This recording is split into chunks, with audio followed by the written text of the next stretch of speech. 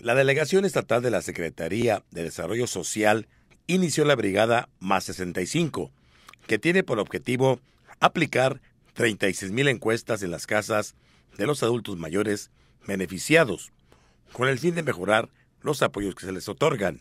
La coordinadora de la brigada, Nelly Sánchez Meraz, informó que serán 218 jóvenes perfectamente uniformados los que irán casa por casa para encuestar directamente a los adultos mayores que se han beneficiado con su tarjeta de 65 y más. El día de hoy arrancamos la brigada más 65. Esto con el fin de obtener información precisa y puntual acerca de la opinión de los adultos mayores que eh, se han incorporado durante este año a este importante programa del Gobierno de la República.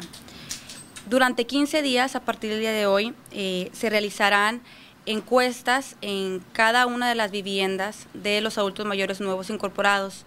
Contamos con un equipo de 218 brigadistas para, para este tema y bueno, pues es muy importante darlo a conocer a toda la ciudadanía ya que eh, pues estos brigadistas van a estar plenamente identificados con uniforme, con gafet, con una gorra que eh, los identifica como parte de esta estrategia.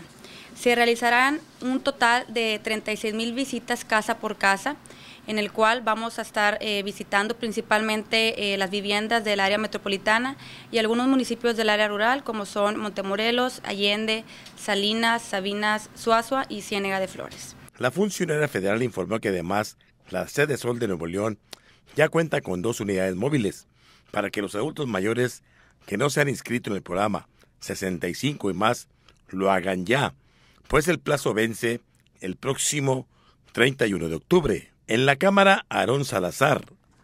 En radio y televisión de Nuevo León informa Armando Zúñiga.